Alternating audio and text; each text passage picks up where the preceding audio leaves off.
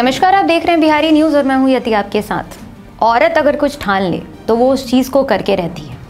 ये लाइन बस बोलने के लिए नहीं है। असल ज़िंदगी में भी ऐसा ही कुछ बिहार में देखने को मिल रहा है, जहाँ बिहार की एक बेटी अपने बच्चों के लिए अच्छी परवरिश करने के खातिर ई रिक्शा का हैंडल थामे दिख रही हैं। आपको बता दें कि बिहार में इन दिनों एक लेडी ई रिक्शा चालक, जिनकी उम्र 30 साल है उनका नाम पिंकी देवी बताया जा रहा है, जो कि भागलपुर ज़िले के बात थाना क्षेत्र के नया गाँव पंचायत स्थित उत्तर टोला ऊंच गाँव निवासी अमरजीत शर्मा की धर्म पत्नी है, जिन्होंने एक नई मिसाल कायम की है। आपको बता दें कि यूँ तो ये फ़र्ज़ पिता का होता है कि वे अपने बच्चों की अच्छी परवरिश करें, ताकि वे आगे चलकर कामयाब बने। लेकिन बिहार में ये जिद एक महिला द्वारा देखी गई है, जो अपने बच्चों की अच्छी परवरिश के लिए एक मिसाल कायम कर रही हैं। महिलाओं के लिए प्रेरणा बन चुकी पिंकी रोज़ाना सुबह अपने घर से ई रिक्शा लेकर निकलती हैं। जब वे अपने घर से निकलती हैं तो सब की नज़र उस दौरान उन पर थम जाती है। उनकी आत्मनिर्भरता, मेहनत और ईमानदारी की लोग सराहना करते हैं।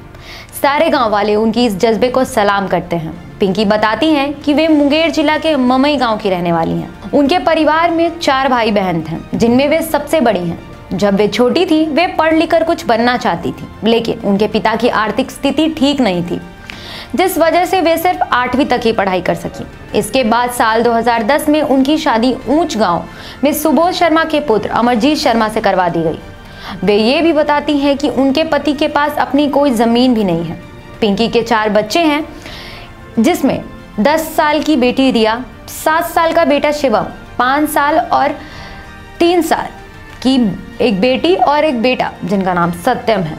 उन सब बच्चों को पढ़ाना और घर की आर्थिक स्थिति मज़बूत करने का संकल्प पिंकी ने लिया है।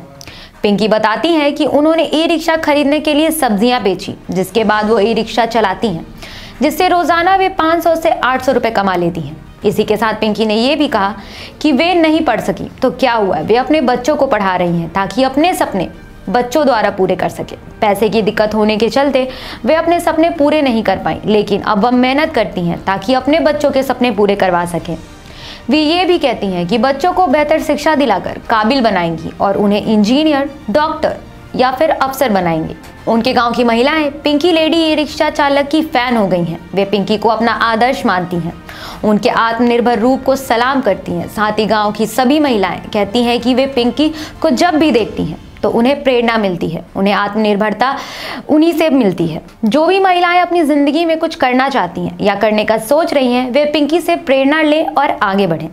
फ़िलहाल इस खबर में इतना ही। धन्यवाद।